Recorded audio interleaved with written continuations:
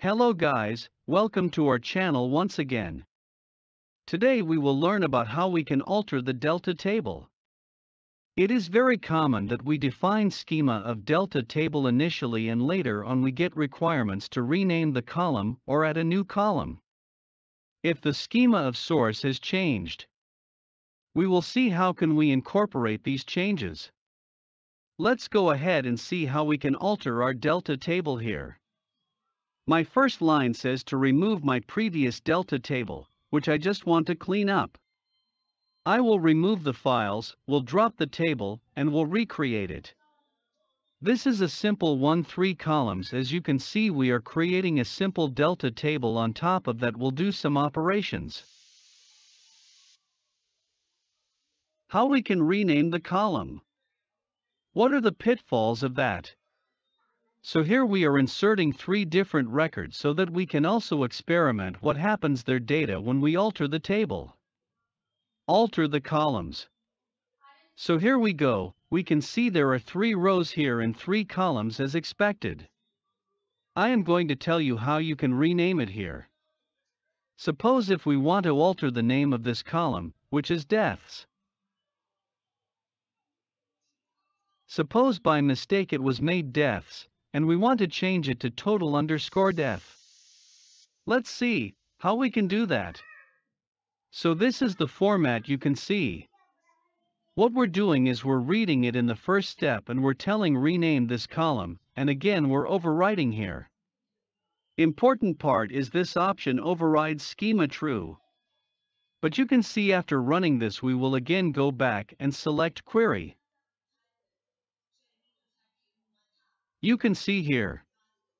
Now the column has changed and then one more thing I want to highlight here is now you still have the data. All rows are intact, even the values are intact here, so nothing is going to happen with your data as well. Okay. Now we'll chat about how you can add a new column. How to add a new column recovered, here is the syntax we will use. As a first step again we read the delta record in delta format. Then we're seeing with column and the previous one it was with column rename. Now it is with column. Options we tell that overwrite the schema and save to the same location again. We will execute and see. Let's run the display. Okay, this is a different one. I will talk about this one later. Well, we'll add one column in a different way, so just leave this one. We need to rerun the delta table query, let me run this. This is a table, we will run that.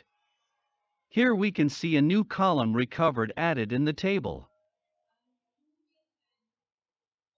Another test case is what happens if we simply rerun the query again, does it throw error or not? No it did not. So another thing we will try is now we'll update those column records values, few of them, and then we'll rerun and see what happens.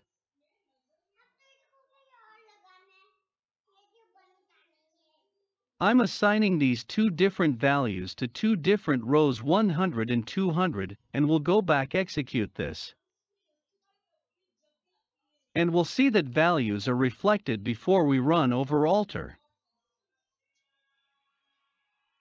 We'll go back and rerun the over with column commands where we are adding a new column.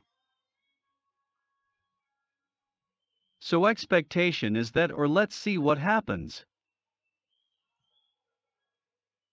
Yep, now you can see these two record has become blank, and the reason is that when we add a column we're saying lit and single quote.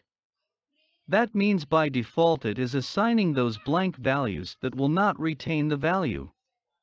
If you already have it, and if you rerun, then you will lose the data.